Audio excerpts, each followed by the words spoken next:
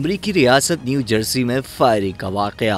Firing से मस्जिद के इमाम कत्ल। गैर मुल्की मीडिया के मुताबिक वाक़ अमरीकी रियासत न्यू जर्सी में पेश आया, जहाँ मोहम्मद मस्जिद से बाहर निकलते वक्त मस्जिद के पेश इमाम हसन शरीफ को फायरिंग का निशाना बनाया गया। वाक़े पर रियासत के अटॉर्नी जनरल का कहना है कि इमाम हसन शरीफ को मुताद गोलियाँ लगी, जिस पर उन्हें फौरी तिब्बी इमदाद के लिए अस्पताल मुंतकिल किया गया। लेकिन बदकिस्मती से जख्मों की ताप न लाते हुए वो अस्पताल में चल बसे। अटॉर्नी जनरल का कहना था कि फायरिंग करने की वजूहत जानने के लिए तहकीकात की जा रही है और जाय वकुआ से शवायद भी इकट्ठे कर लिए गए हैं। अटॉर्नी जनरल ने मजीद कहा की इब्तदाई तफ्तीश ऐसी मालूम होता है की ये किसी तासुब या दहशत गर्दी का वाक़ नहीं। उन्होंने मजीद कहा की इसराइल और फलस्तीन के दरमियान जंग की वजह ऐसी अमरीका में कम्युनिटीज के दरमियान तासुब, इस्लामोफोबिया और यहूद मुखालिफ वाकत रोनुमा हुए हैं, जबकि इस रियासत में तीन लाख ऐसी जायद मुसलमान आबाद हैं।